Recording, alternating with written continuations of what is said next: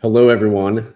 It is episode two of season two of Boy Blue and Bigby, and today we're talking about our favorite books with no pictures. Talking about our favorite novels. Yeah, I was gonna say, well, you can't say no pictures because one of the ones I got, it's like a childhood Oh, okay. childhood book bought because I loved it when I was reading it as a favorite non-comic book go. slash manga. What we usually are discussing. yeah. Yeah. Okay. That's, that's fair. And that's it. I'm I'm Boy Blue, and this is Bigby. Aloha, everybody, coming live in Hawaii. I wish. Yeah, That'd be nice. I wish it would be nice. So, I believe I shall get uh, started with the, Yeah, get the get the party started, man. the childhood book of mine, which I have my references stacked right here. I don't know if you had all the books I own or the ones I picked. So my first one is the BFG by Oh, by Roald Roald Dahl. Yeah, this one. at Uh, I read this in elementary school, and I uh, loved it a lot because it introduced me to my favorite phrase: "Am I right or my left?" And I say that a lot more than I care to admit. But it's a really great book. It's for all ages. It's about a the BFG, a big friendly giant who uh, gives kids good dreams, and they're these evil his brothers, other giants who are mean and nasty and eat people. So pretty much a BFG and this little girl, I forget her name, Sophie, which is on the back, uh, team up together to bring some kind of peace to London as the bad giants are running amok. So two So- thumbs up for me. I've never I've never read that, and uh, What? yeah, I never read it, and I I wasn't even like aware of it until they made that movie, which I never saw. But when I when I first saw it, because I was basically an adult. Well, actually, yeah, that movie came out only a few years ago, right? So I wasn't. I was, I was I was an adult. Um, I saw BFG and I'll edit it, but I thought it was like big effing giant, like just a, just a big effing giant. that Like that's what I thought it was, and then I was like, wait, this is a kid mo- kids movie. It can't be big effing giant, and uh, it's big friendly giant. I learned, but I I kind of want to write my own spinoff. a big effing giant. Big effing giant. Well, he has to be big, like really, really, big. really big. because That's all the he, story's about. He's just really big. yeah, this, but this, the BFG is literally the smallest of the giants. Like everybody else is like bigger than him. He's just like, So this is the Small. sequel. Maybe I'll call it Notorious BFG. Notorious a- Uh, whole- yeah, just a bunch of stuff. it could go Yeah. anywhere. Like I knew it wasn't. That's not what it was. But at the Yeah. same time, I saw a poster and I was like, "That's got to be what it is." Yeah, this is the poster. yeah, It's on the cover of the book. just a big giant. Yeah. well, uh, yeah, that sounds like a. It sounds like a good one. It's a good pick. I didn't think about picking childhood favorites. I feel like I just picked like sad stuff. Well, naturally, I just naturally assumed you picked sad stuff. Yeah. like I just picked it because I was like, oh, I loved that reading as a kid, and I after I saw that it was uh, on the shelf again, I think I got it at Target. I instantly bought it without a without a second hesitation. I'm like, oh, nice. BFG! I grabbed it, bought it, and then it's been sitting on my shelf in pristine condition all this time. You you physically added to cart. yeah, physically. physically physically added to cart. Yeah. it's good. It's Yeah. good. Well, I'll go next. I'm trying to decide which one I want to start with. I'll start with this one. This is Lush Life by Richard Price. I read this last year. Actually, most of this stuff I read last year because I'm only really just now becoming a literate member of society. But uh, Richard Price, yeah, not postmodern, not postmodern. Uh, okay. Uh, this is a for those of you don't, who don't know, Richard Price um, is pretty fairly known author, but he's also known for writing on the show The Wire. So if you like The Wire, I highly highly recommend you read some Richard Price. but this one is about a a young man gets uh, gunned down in New York City um, while he is just walking down the street. He's like being mugged, and he's like, "No, I'm not going to give you my wallet." And before you know it, he's killed. And one of the there's someone with him, uh, like an acquaintance, like who saw the whole thing, and he like ran and dipped. And then the police uh, immediately think that guy's a, sus- a suspect. Obviously, you know he didn't do it because he was just there. And uh, I don't know. It's a very realistic, to me, as far as I know, a very realistic depiction of an investigation. Like it's it's kind of a dull book, to be quite honest. Like there's no like revelation where they're like, we solved the mystery. It kind of just like I don't want to spoil the ending, but it's kind of just like shrug. You know, it's it's one of those where it left me empty and sad. And if you know me, if a book leaves me empty and sad, it's getting a thumbs up. So is that the one you were telling me about last year with the cop with like, oh, I know it was this guy, but it wasn't that guy. It was someone else. So like it's funny. It's funny you say that. So that's Clockers, which is mm-hmm. also by Richard Price. Oh, okay. So sim- right. similar theme, except this one you get the perspective like of the accused.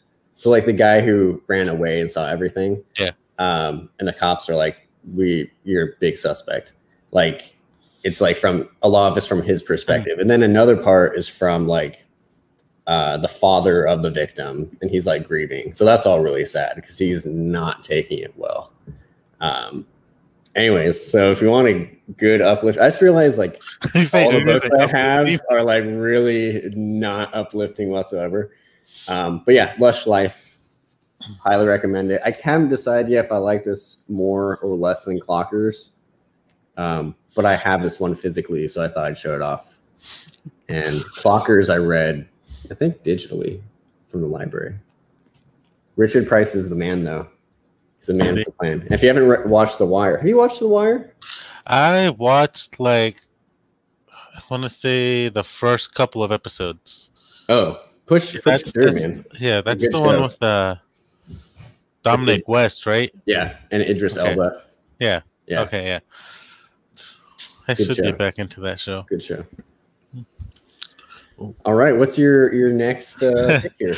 and again, a little blast from the past. I read this one lots of times, and I thought it's because it was uh, really, really hilarious. It's a, a love story kind of thing, but it's a comedy called 24 Girls in Seven Days, a novel by Alex Bradley. That sounds amazing already. It's, I've never heard of this.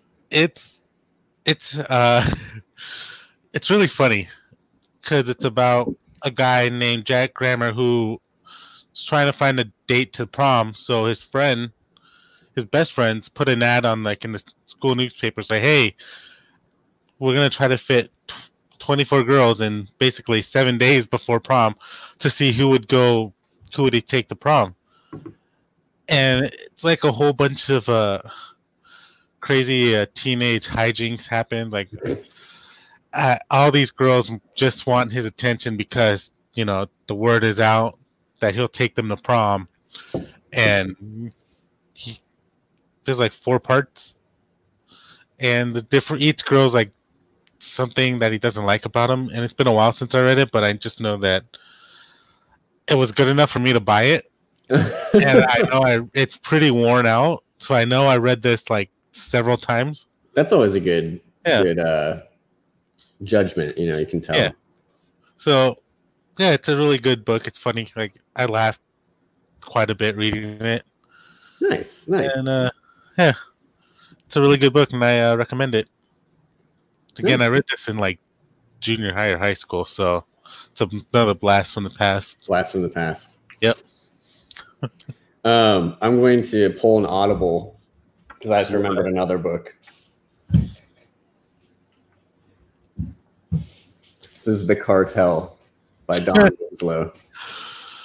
Um, in terms of most depressing books I've read, this might be the most depressing book I've read. So bear that in mind. Uh, this is also the second book in a series. The first one is The Power of the Dog. I recommend you start with that one. Funnily enough, I started with this one because I didn't know it was the second book.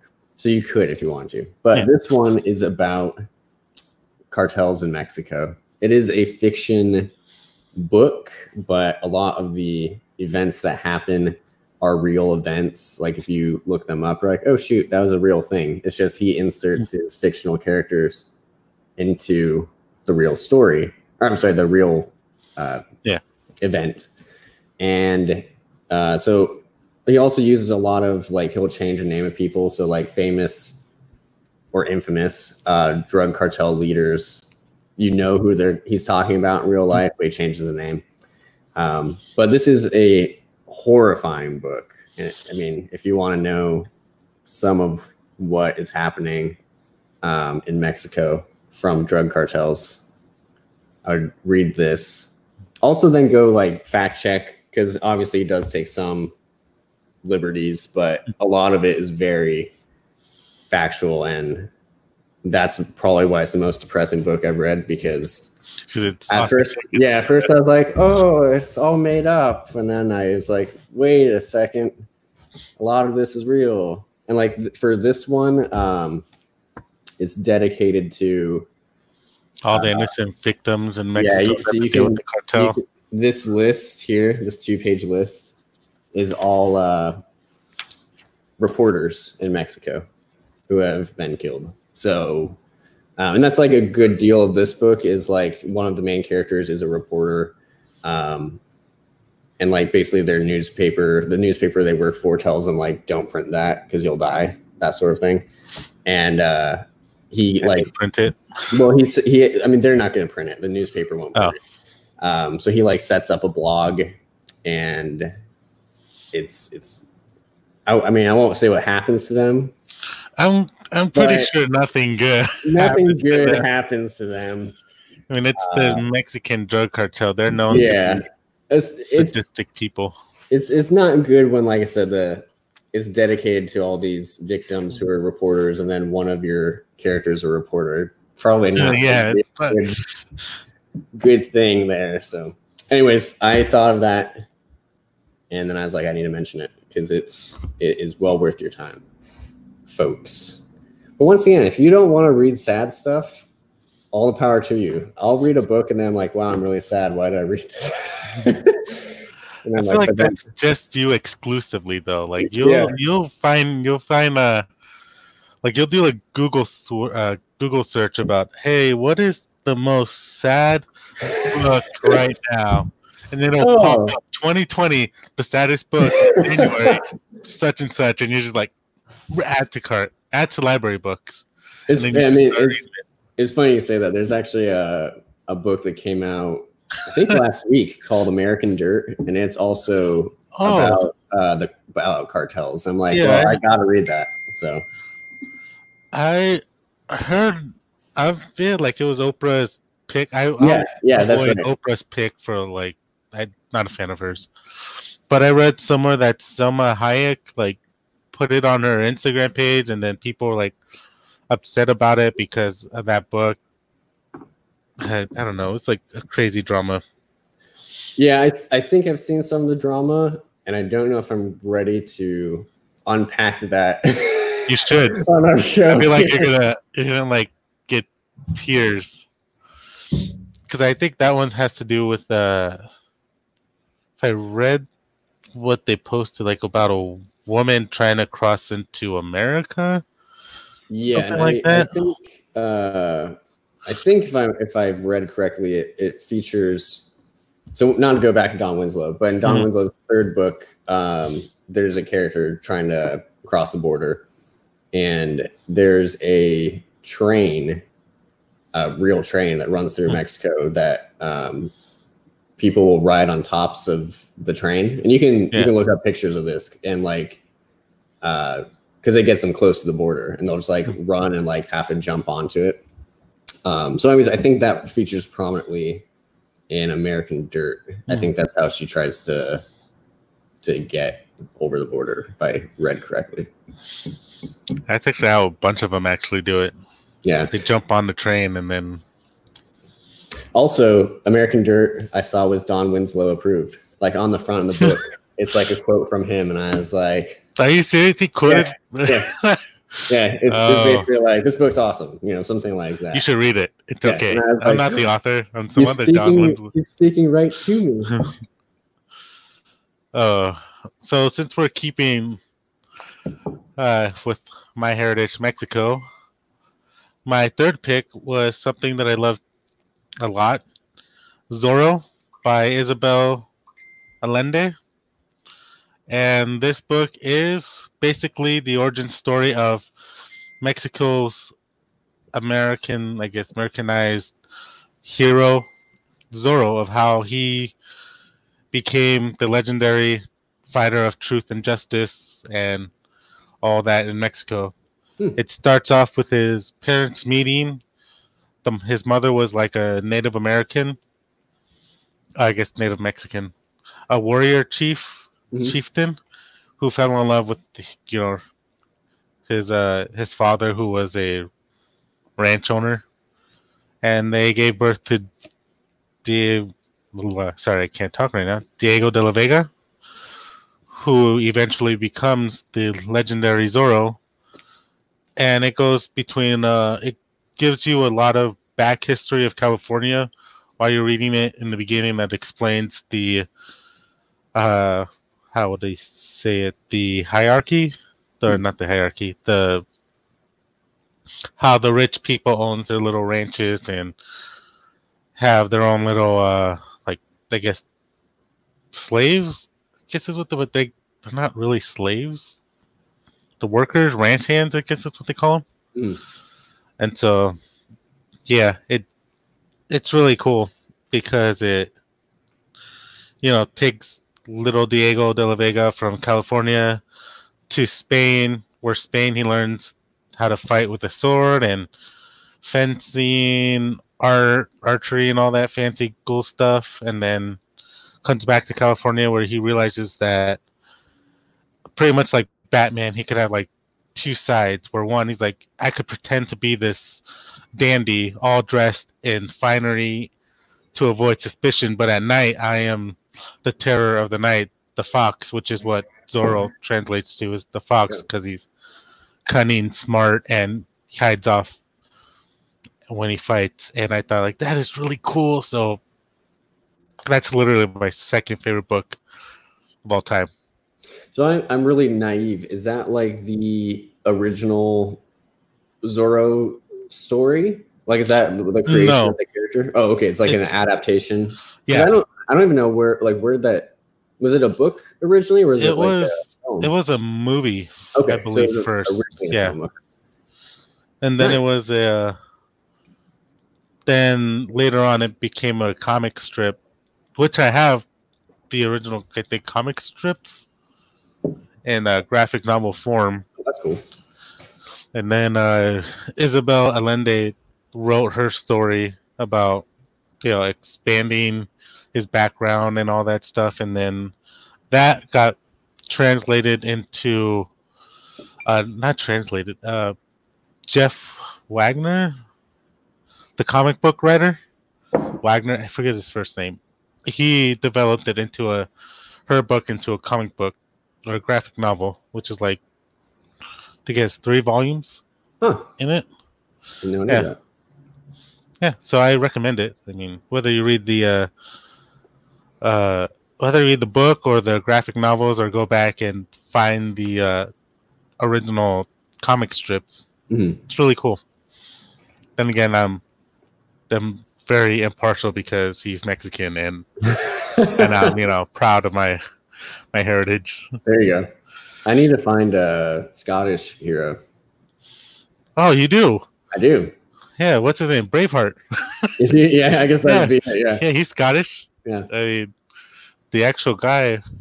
Uh, What's God. his name? I can't even remember his name. Anyways, I'll go with my next one. So I'd be remiss if I not, did not mention Peace and Turmoil. You see, I was gonna add that to my list, but I was like, you know what? I'm pretty sure he's gonna do it. So You know, it's funny. I thought I was like, I wonder if it'll be on uh, Bigby's list. But uh, so this this was written by my wife, and her name is on the spine, Elliot Brooks, and it's a it's a big fat fantasy novel. It's like seven hundred some pages, and there's a sequel coming pretty soon. But I am really bad at summing up fantasy books because I'm like, there's so much going on. But uh, I don't know. How would you describe it? They're looking. There's these artifacts that have powers. Mystical yeah, properties to them. and they each each country controls an artifact, and there is a bl- uh, a blooding a budding romance between uh, two artifact guardians, and that's forbidden because then no have two too much place power. can't have. Yeah. Yeah.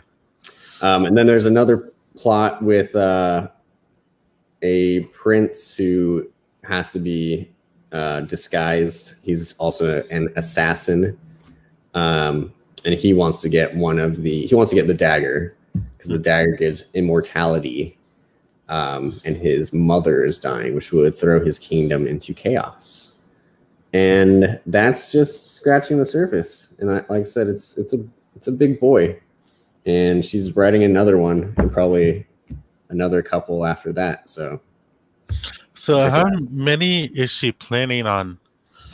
I want to say last time I spoke with her, I think five, Five. or five. Yeah. So the one she's working on now, I've actually read the first part, um, like part one, you know, in, in the book, and it's like I don't remember how many words, but it's a lot of words. Like it's like her part one of her second book, I think, is like a third of this book. And I was Really? like, Oh wow! I was like, uh, you might use, you might be more than five books here. I don't know. Unless you want to be pumping out like thousand page books here. I don't. I mean, I mean, honestly, she's writing faster than George R. R. Martin. Like, I think like what everybody's waiting on what that last the last Game of Thrones book. but Well, it's not even the last. I know, but like the I guess the most recent. I don't know how you would call it because there's I only know there there being five books at There's five books right now. knowledge. Yeah, Yeah, and book six is taking too long. It's yeah. from what- When when did book five come out? It had. I mean, I think I was in like high school. so like uh, last year. Yeah, yeah, last year. Uh, Uh, let's see. I'm trying to look it up.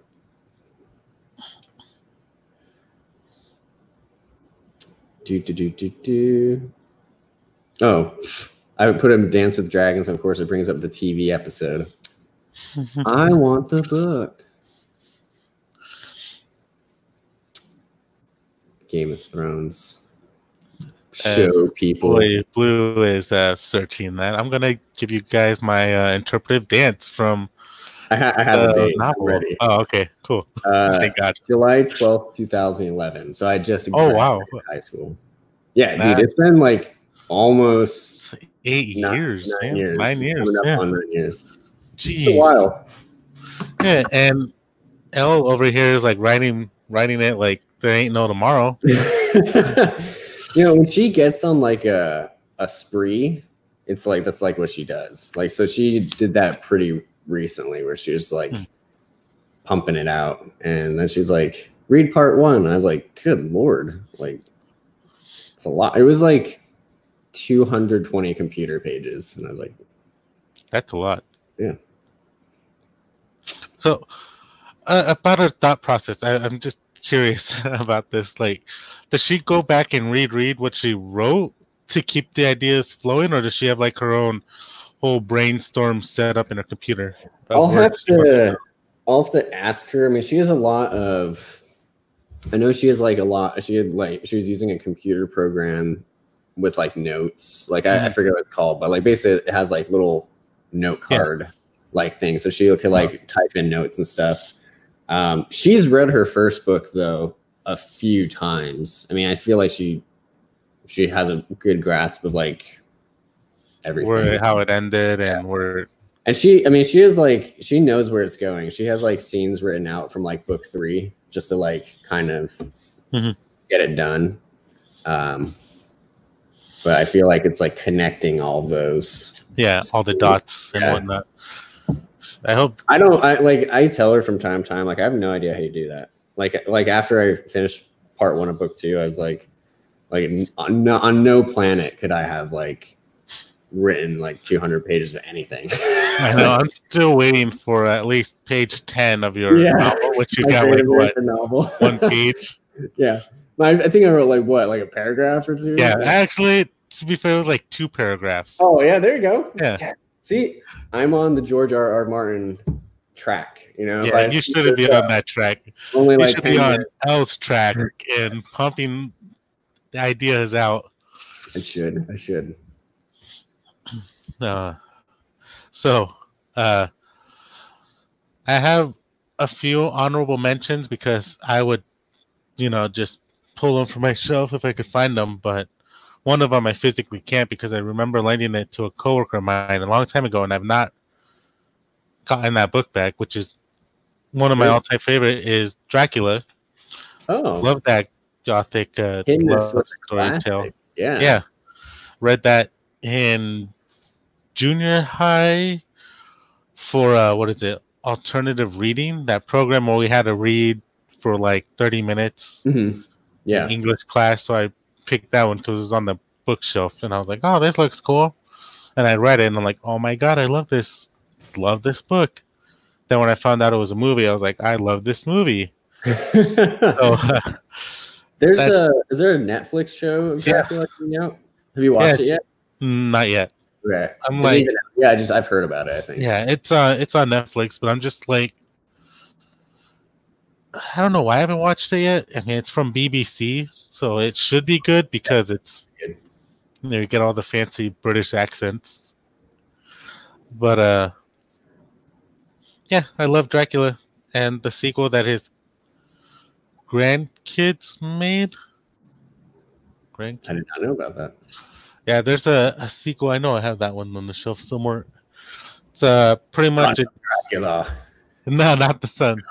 It's literally uh the quick synopsis is Jonathan and Mina have a kid who becomes an actor who Son of Dracula. not the son of Dracula, but uh, uh he finds out that that uh Bram Stoker wrote a book called Dracula based off his parents' lives, and it's like a whole wampy in timey wimey fluctuation kind of thing, where it's like he writes based on true events that people think it's like a story, but it happened in their real world, but it takes place like a little like the 1900s, the beginning around there. Hmm. And Dracula is this famous actor who's in disguise because some other vampire lady is trying to kill him to take the grand spot. Huh. So yeah, it's really uh, it's really It sounds interesting. postmodern to me. Sounds Yeah, yeah, very postmodern. Uh, you'll love it. It's Yeah, very yeah, depressing. Oh, good, good, People would like vampires kill everybody. good, good, good. Yeah, but oh, go ahead. Oh, go ahead. You first, sir. You got a question? Oh no, no, no, no. So my favorite is by my favorite actor, who is star of the Evil Dead trilogy and Ash versus the Evil Dead, and he's in Burn Notice. The one, the only, Bruce Campbell, and his book called Make Love, asterisk, the Bruce Campbell Way. And this is literally one of the funniest books I've ever read. It's uh it it's a fictional book. Nothing in this story happened for real, Nice. but he pretty much writes the story playing it out as like it actually happened where he gets the part in a movie called Make Love as the chauffeur to this fancy hotel where it's the film also stars uh Renee Zellweger and um what's his name? Oh, I'm drawing a blank. He's another famous like 90s actor, uh Richard Gere Nice. and they're supposed to be buddy buddies. And so in this whole crazy book, he's trying to uh, teach Richard Gere how to be a good actor while B rated actor where they do its own stunts. And so he's like trying to be like goes off and does little uh little thing to try to get better at his acting or like try to get in the mindset of a of a chauffeur and whatnot. And it's really funny. It's really cool. It's really unique, and it's Bruce Campbell. So you know, I'm. I'm glad that uh that you're here because mine is like this is a depressing book. This is a depressing book, and then like these are funny books. It's a good. It's good. Yeah, yeah. Yeah. You got to have one with the other. You can't have one without the other. Exactly. Exactly. Is that all of your honorable mentions? Uh, well, there's also another one that really well, it's kind of up your alley. Uh, okay. Really depressing to me. It's the Five People You Meet in Heaven by uh, oh. I forget the author's name. Uh, he's write a lot of these little kind of books. Tuesday with Morrie, One More Day, then Five More People You Meet in Heaven. This one is about a uh, a old um Mitch Albom. Yes, thank you, Mitch Albom. Had to had to let the people look know. it up. Yeah, okay, yeah. His, this is like literally the first book, and I'll say this to anybody and everybody, the first book to ever literally literally made me cry. So that's why I'm saying like this book is pretty depressing and sounds like something I should read. It is something you should read. Like if I had tears, man, I think you'll be like bawling. I'll have like, a good cry. Yeah, good. like a really good cry. Uh, pretty much, it's the story of a um, old uh, Ferris wheel worker who dies in a Ferris wheel accident, and he like he saves a little girl. So when he passes on, he goes and meets five different people in heaven who all like somehow, if I remember, they're all connected to him one way or another, and mm. then like they've had some impact on his life, or yeah. impacted them, or something. Yeah. Like and he goes through all them, and I think number four or five was the one that made me like ball my eyes out. And uh and, and in the end he decides whether he wants to move on or he wants to be like the next person who leads oh, someone okay. on. Okay. So it's a really great book. I recommend it to everybody. I recently recently fairly recent bought that one for my uh my beauty. So I believe she read it I hope she read it. And it's a really great book. I recommend it to everybody. Well, while we're on the subject of death and great books, okay. I read this only a couple of weeks ago. Lincoln oh. in the Bardo. This one didn't quite make me cry, but real close, real close. So real this, close. This is about uh, it's such a weird premise, but I'll I'll do my best. So Willie Lincoln, Abraham Lincoln's son, uh, died. I mean, like in real life, like he died when he was like ten years old. So this book is uh, Willie Lincoln dies, and his ghost uh, is in a graveyard, like where they bury him, and he meets these other ghosts and the ghosts don't quite realize they're dead. They just think they're sick and like they'll get better. Um, like they're all in denial. Hmm. And they begin to like, they have kind of like in Christmas Carol, like um, Marley, like he has chains on him. Yeah. It, like shows how he was in real life. Kind of similar to this, like um, the ghosts, like physically, they take on different shapes of like how they lived. And, uh, but a lot of it is like like Abraham Lincoln comes back to the to the gravesite um, a few times, like after Willie dies, and uh, the ghosts are like like flabbergasted about that, like because like their family would come like occasionally, but he like comes like all the time, and anyways, they like they like gravitate towards Willie and it's just a beautiful book. I can't really describe it, but it's like almost all dialogue. Um, like I'll show you. It looks super weird. So you'll see like there's words. Oh, okay. And it says like who said it. Um, so, so like a script.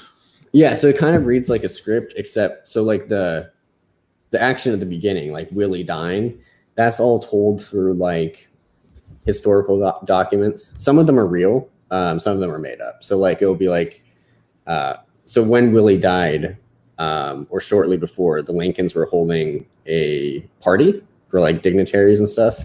Hmm. So there's like letters or journal entries or historical documents like talking about how like they could tell the Lincolns were worried about something, but they weren't Hmm. sure what. And like Abraham kept leaving the room and blah, blah, blah.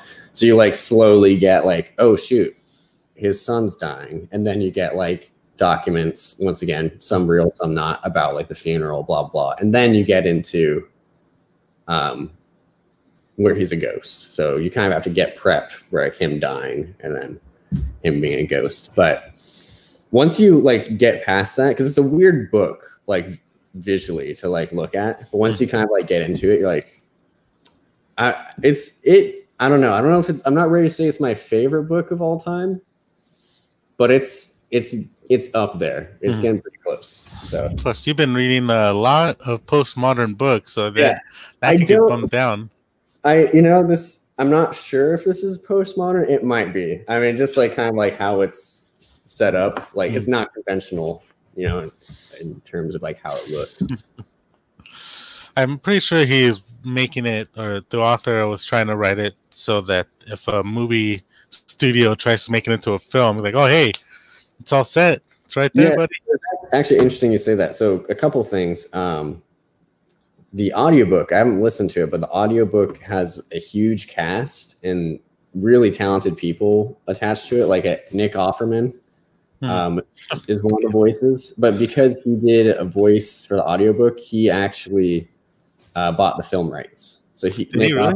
Nick Offerman and his wife are actually both um, scripting it right now. So Oh, that shouldn't be hard. I mean, like Yeah, it's- it's take all it out right of yeah. Uh, that's awesome. yeah, no, I'm pretty pretty stoked. Did you have any more? Uh, well, there's a bunch of Star Wars books, but I could like the Thrawn trilogy really caught my attention.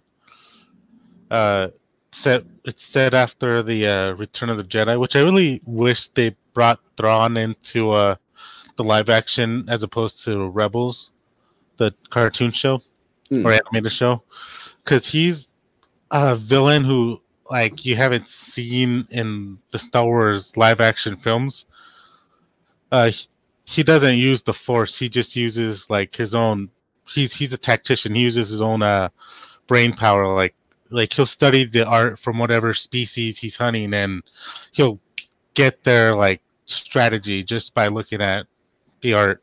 That sounds awesome. it, it is man. Like he's literally my favorite villain that's not a sith lord or a Did you say it's a it. trilogy?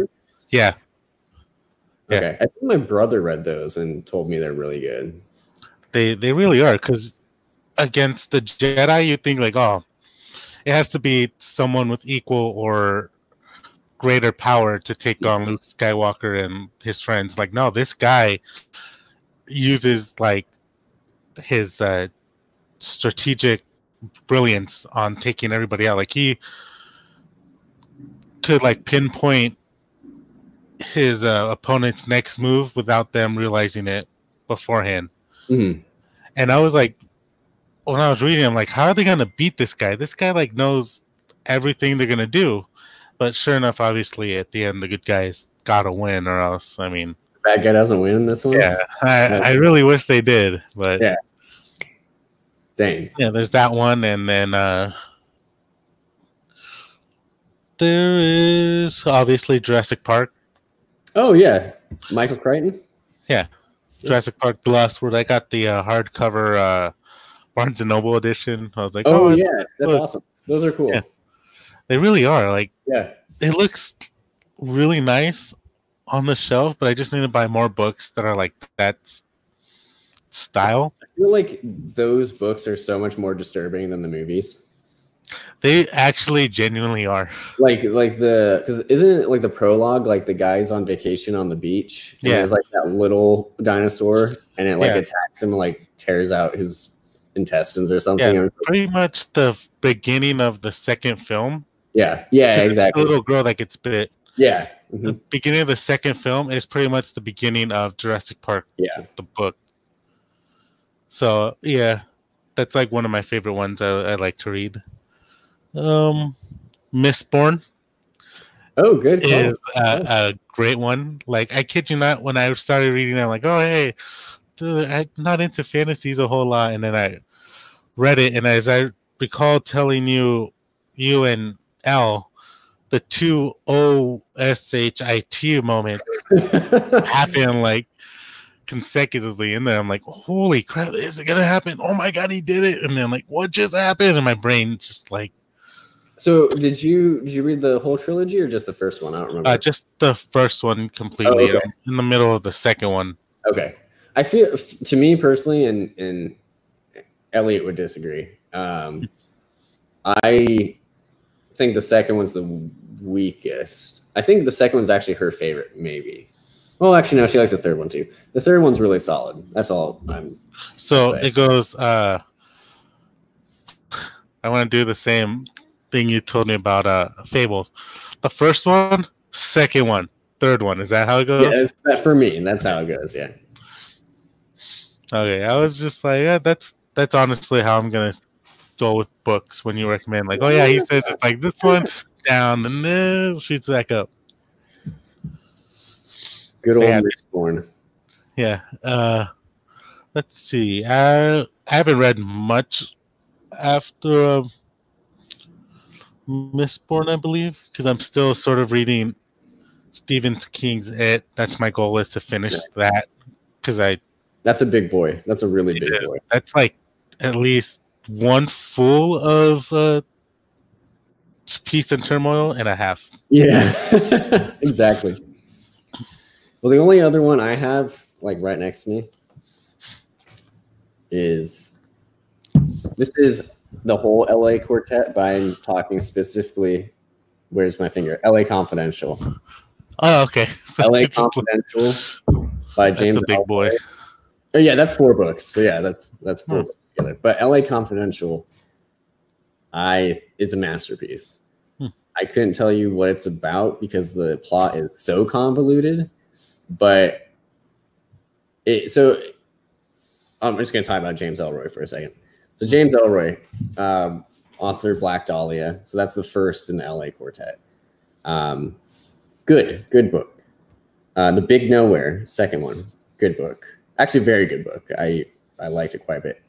LA Confidential. So this is the story behind LA Confidential and kind of like his writing sense. So he wrote LA Confidential and it was giant. Um, and his editor was like, "We need to like trim this down, take some stuff out." And supposedly, he was like, "Everything in there is as it should be." So he just started taking out words so this his style developed into this fascinating like i'll try to like I'm trying to find like a section it's like bullet points almost Mhm. and at first uh it does like you're like what is he saying but like so it's like he drove there woozy keyed up he started to feel the closeout bad debt settled bad a clean slate it's like this very like Really? So it's like, It's like like a literal noir.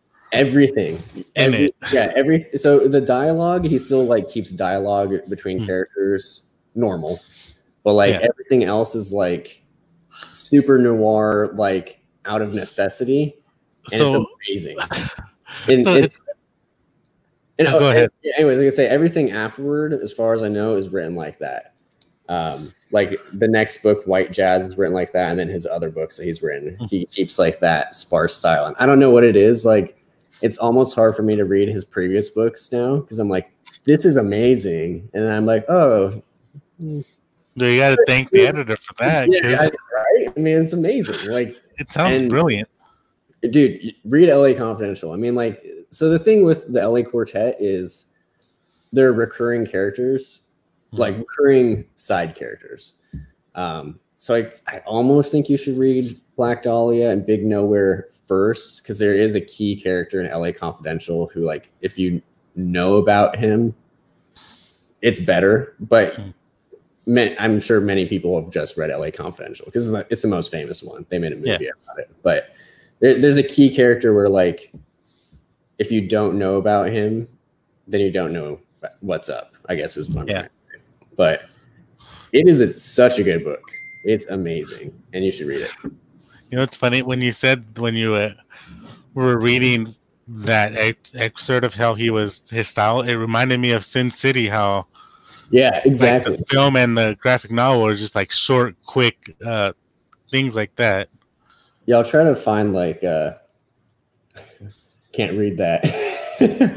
Yes, you can. Some foul language in here. Um, let's see. Just keep it PG like we do with HE double hockey sticks, boy. So like I don't even remember what he's talking about at this point, but it says Jack kicked him prone and yanked the spike from his arm. A frisk, no resistance. Claude was up on cloud 10. Bingo. Like that's amazing. All of that is amazing. So uh LA Confidential is amazing. I, I think it's one of those books I'll probably read every year. I I don't know if I would read the first two every year, but man, LA Confidential is like it's a masterpiece. A masterpiece. And I know I said this might be my favorite book, but never now mind. looking back on it, yeah, LA Confidential is probably my favorite. I think it's my favorite book. It's it's it's so good. I don't even care. I don't even care if you don't like it. If you don't like you know it, what's funny? The, the podcast over. You're like, no, must like um, Lord of yeah. the Rings is one we forgot to mention. I feel like Lord of the Rings is a good. and I I need to reread it because I read it um in high school. I think is when I read all of them Mm. like through. Yeah, see, I, I was the same. like senior year, I think I read all three. So it's actually no, I must have maybe I was younger because I read it before. I remember reading the Return of the King book before the movie came out. Hmm. Um, because I remember reading the book and being like, "What the heck? There's ghosts!" Like, Oh yeah, like I was like, like is, he, is like is everyone really getting an army of ghosts right now? Is that what's happening? And then like I was like, "Well, I'll be darned. There's an army of ghosts." And then I was like, "Are they going to have that in the movie?" And look at that, they had it in the movie. So, you know, like, what do I know? that you see, out of all the bizarre things that happen in the books and in the film, the ghost is It's so out of it was through yeah it threw me off like so his great great ancestor sword can fight against these Yeah. ghosts now and it just like that's one of the things that kind of baffles me even to this day when i'm like rewatching yeah. rewatching that movie i'm like okay legolas first thing arrow I just feel like the I don't know. I, I'm not by any means a Tolkien uh, expert, so I'm sure people will correct me. But I feel like it was so out of nowhere for like the lore, like because I you know you read the first two books and you're like, okay, elves, dwarves, dragons dragons, orcs, recovered giant spiders spiders. And then it's like, go find this army of ghosts, Aragorn. I'm like, what? they owe your great great Yeah. ancestors a debt and they're like oh okay Oh, I'll do it. Yeah, why not? And it's just like I was waiting for vampires and werewolves at one point because if they threw ghosts, I'm like they're bound to be in there somewhere. Yeah. Well, that's that's it for me. I Yeah, to get LA Confidential in there, and now I just want to read LA Confidential. Well, it's so if good. if it makes you feel any better, I kind of want to reread all these books right here, There you go. just Yeah. just out of principle alone. Especially So, viewers, let us know your favorite books um, with little to no pictures in them, and we'll, you know, if we've heard of them or read them, we'll respond. We'll respond even if we haven't heard of them. Yeah. but I'll probably I haven't heard of that. I'll look into it. That's I mean, it's only fair. Like, there's like a infinite number of books out there that both of us have not read. Like, Mistborn, all that. I probably would never would have heard of it until you know you and the L recommended it to me. So It is funny, like growing up, and I, I think this is like a product of Lord of the Rings, those movies coming out Mhm. in my formative years. You know, I really was into fantasy. Like I read Lord of the Rings, I read Mhm. Wheel of Time, um, some Brandon Sanderson. uh, you know, Mistborn, all that. Mm. Um, what else? Uh, R.A. Salvatore, people are up there familiar with that. Anyways, I read a lot of fantasy, and that's like all I read. And then I went to college and didn't read anything. And then after that, I was like, oh, and actually, and, and I I read comics too. And then I was like, I want to read a bunch of comics. And then I was like, books. I don't have time for books. I'm going to read comics and manga for the rest of my life. And then I read The Cartel, and I was like, that was amazing. And I read that while on vacation in Iceland, reading a really depressing book in a beautiful country. But, anyways, Which at kind is of like, looks a little depressing. I feel like only in the last like year, I'm like, like I read like only fantasy books, and now I'm at like I'm reading like other things. I'm like, Mm. there's so much. like, I'm just like baffled by it. Anyways, that was like a really unnecessary tangent, but No, that that's all right, man. I mean, I was kind of the same. Like in high school, I didn't read. The only fantasy book I ever read was The Lord of the Rings, and then uh, Dracula, and like every now and again, like an autobiography from either a wrestler, football player, or or just something random that I was trying to pick up on. And then later on in, life, I did what you did. Like I just strictly read comic books, manga, uh, whatever random books piqued my interest at the time. Mm. And then now I'm just like, oh, what can I read next? I mean, there's a bunch of comic books, or I should just like read the books I bought that I have on my shelf, Yeah, and just right. like eh, it's a balance. It's got to be It a is a balancing act. yeah, I, I think like I don't know. I mean, I think it started with like I don't, it's just like it's it's like what am I trying to say? I just feel like there's not enough good television, and books are like really good television. like That's true. I mean, like it's to television me, is getting better. Though. Yeah. Speaking of that, BoJack Horseman final season. final season coming up, which might be our next episode. No, I think Might be if we uh, both. uh Yeah. Well, actually, we'd have to watch it really quick, huh? Yeah. I mean, Anyways, we could essentially just like call in sick. Yeah. like, hey, I'm not feeling good. I got that coronavirus. and then, uh, like, oh, I got better magically, guys. funny Yeah. sad. Funny Yeah. sad. So uh, the next episode could be BoJack Horseman, or it could be something even better. And I'm talking about the fact that it's uh, Bone. We both Yes. bought Bone on a really great deal. color- yeah, full color edition. So- So, that one will be coming once we get them. Hmm. We're gonna we're gonna unbox them in front of you, and tears Yeah. will fall from my eyes His as eyes. I look glory. Yeah. my my copy is so beat up. My paperback all in one copy. I'm like, I believe it. I borrowed it, and it's just like it's like it like just like blah. Yeah. You see. That's one of my my worries is that you know sometimes the hardcovers, just like the spine, won't stay with so many pages. yeah. And you know That's that's a good point. That's a good point. We'll have to we'll examine the the spine in the Yeah, I mean, Although I'm not an expert on that by any Yes. means, but Yes, you are. Look, look at all those spines behind you. relax the spine. Relax the spine. All right. Well, Uh. thank you for watching, and uh, it's been a pleasure discussing novels with you today. I Yeah. I have to say I've I've never read Dracula, so maybe I should I should read Dracula. You really should. It's really right up your alley. It's Yeah. dark goths. Uh, probably the second darkest book I've read, Really? and the first, yeah, the first is being a, uh, what is it? An auto, not an autobiography, a book about the Iceman killer. you, you told me about that. Yeah, that one's like being- pretty dark. I saw that at the I saw that at the used bookstore, and Hmm. I was like, "Oh yeah, he told me about this," and I was like, "But do I want to know about this real guy?" You do, man, because it's it it's scary, but like really good kind of scary. Like Mm. like this guy literally just thought of different ways when he was bored how to torture and kill people for the mob. And I was like, that's fascinating. But It's again, at that time period, if you're on the opposite end of it, you're just like, no, thank you. No thanks. Yeah. All right. Well, uh, follow us on the Instagram. Like, subscribe, do all that jazz. Comment, share. Comment, Uh-huh. share. And who knows, we- maybe if you uh, write down a book we haven't read with a little brief synopsis, maybe we'll Yeah. read it.